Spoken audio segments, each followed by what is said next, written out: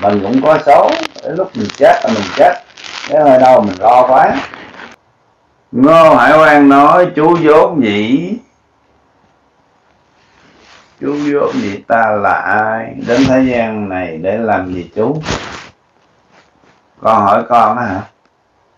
Tất cả chúng ta đến thế gian này đều hay học hỏi, nhưng có người đến thế gian này để mà dìu dắt những người khác có những người mà đa số là đến thế gian này để học cái khổ để khi mình về trời á mình mới trân trọng cái khổ đó.